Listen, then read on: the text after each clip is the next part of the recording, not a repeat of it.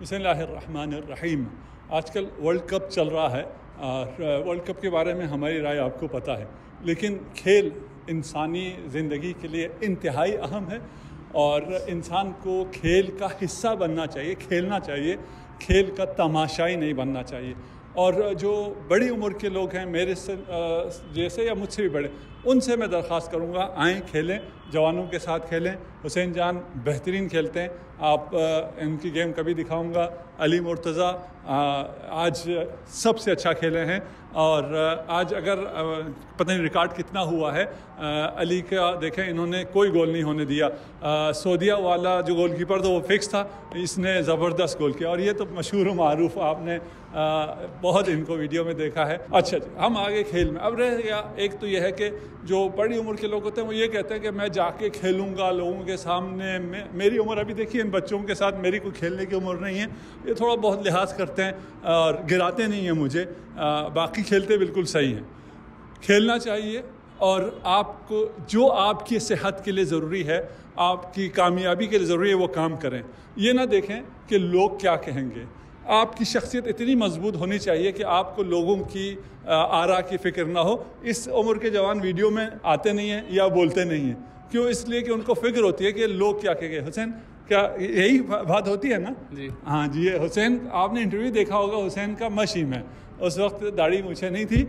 तब से हुसैन भी वीडियो में आ रहा है। मुस्तफ़ा के साथ की वीडियो है। याद है आपको? आप इसको मैं लगा दूँगा अगर आप मुझे यूट्यूब से मिल गई। छोड़ें, लोग क्या कहते हैं? आप अपनी कामयाबी देखें, अपना रास्ता देखें। आप अली के मानने वाले हैं, आपके हर कदम पर, हर बात पर लोगों को एतराज़ है। आपको एतराज़ की क्या परवाह होनी चाहिए। जब तक आपका रास्ता ठीक है। एक कहानी मैं बच्चों को सुनाऊं। एक तरफ़ आप आ जाएँ ताकि मैं कैमरे को ना देखूँ, आप लोगों को देखूँ। ठीक? एक बुज़ुर्ग थे मुझे से, मेरी उम्र के। और जवाद बना रहे ये वीडियो। ये भी स्पेशल है। जवाद को भी आप जानते हैं, जवाद काजमी। वो गया खाना खाने दावत पे। और घर वापस आके, अक्सर आपने सुना होगा, वो वापस जब घर आता कहते हैं, दोबारा खाना खाना चाहिए। ये, क्यों? दावत मैंने सही नहीं खाया। क्यों सही नहीं खाया? लोग थे, लोग क्या कहेंगे? ये, एक बच्चा था, बड़ा जहीन था, काजिम की तरह का और शरारती भी था। उस बच्चे ने कहा, बाबा, अगर आपने लोगों की वजह से कम खाया है तो आप अपनी नमाज़ भी दोबारा पढ़ लें। उसे नमाज़ में दोबारा क्यों पढ़ो? मुझे भूख लग रही है। कहा, जब लोगों को देख के कम खाया है तो लोगों को देख के आपने बड़े आराम आराम से नमाज़ पढ़ी होगी। बड़ी देर लगाई होगी, क्योंकि लोगों की बात आप पे इफ़ेक्ट करती है। ठीक? आप दोबारा खाना भी खाएँ और दोबारा नमाज़ भी पढ़ें। अगर नमाज़ आप लोगों में गैदरिंग में, इज्तम में जाके अच्छी तरह पढ़ते हैं कि लोग क्या कहेंगे, वो नमाज़ बातिल है। वो नमाज़ सही नहीं है। वो बच्चा काजिम की तरह बड़ा जहीन था।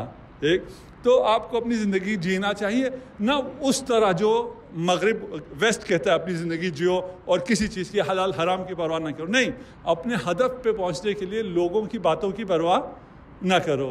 आज हमने हर जुमे को हम यहाँ आते हैं, और सबको तो मैं दावत नहीं दे सकता, लेकिन जो आना चाहें जुमे को हम यहाँ खेलते हैं। आप यहाँ आ सकते हैं। ज़्यादा एड्रेस दूँगा तो ज़्यादा लोग ना आ जाए। ठीक उसे नई जगह ही बता रहा है कि हम कहाँ खेलते हैं। तो हम ये सब तो नहीं बता सकते, सिर्फ़ ये कह सकते हैं, हर जुमे को कोशिश होती है। तो मैं कम आ पाता हूँ, लेकिन यह है कि ये जवान यहाँ हमेशा आते हैं और ये हुसैन की, जवाद की, इनकी एकेडमी भी है, इसलिए ये मार्केटिंग करना चाहें तो वो अपनी वीडियो में अलग से करें। बहुत शुक्रिया। काजिम, खुदा खुदा थैंक यू